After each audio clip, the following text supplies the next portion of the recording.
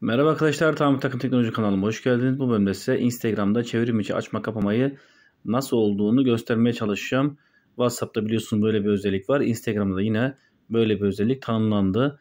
Nerede? Telefonumuzun profil sekmesine geliyoruz. Profil sekmesinde ise sağdaki 3 çizgiye gelerek buradaki aslında ayarlar ve gizlilik bölümüne gidiyoruz.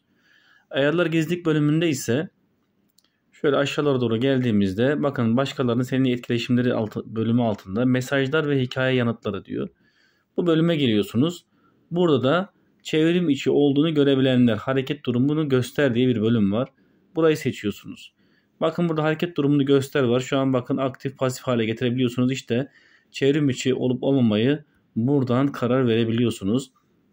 Bu konuyla alakalı biraz daha detaylı bir bilgi almak istiyorsanız daha fazla bilgi al kısmına geldiği zaman Instagram'ın yardım sayfasına gidiyor ve burada da size bu konuyu yine biraz daha detaylı bir şekilde açıklıyor. Hareket durumunuz açıksa Instagram Direct'te profil resminizin yanında bir yeşil işte simgesi bulunur veya zaman damgası görünür. En son ne zaman aktif olduğunuzu gösterir.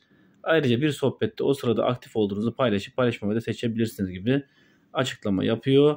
En sonunda bir uyarısı var. Ayrıca bir başkasının hareket durumunda göremezsiniz. Yani siz burada çevrim içi olmazsanız bunu pasif yaparsanız bir başkasında siz göremiyorsunuz. Tabir takım teknolojide yeni ve faydalı bilgilere buluşmak dileğiyle saygılar selamlar.